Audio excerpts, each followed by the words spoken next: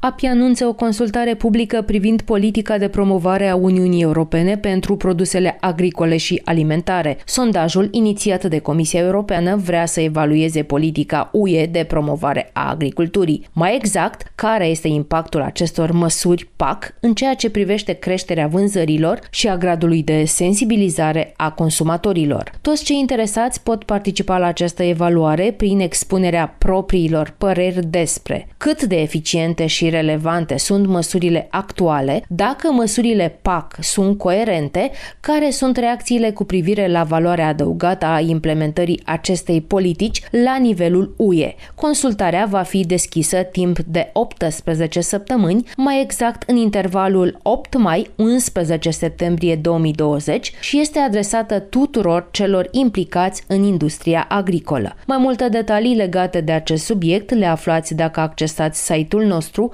agro-tv.ro unde găsiți și alte informații interesante despre starea actuală în care se află industria agricolă.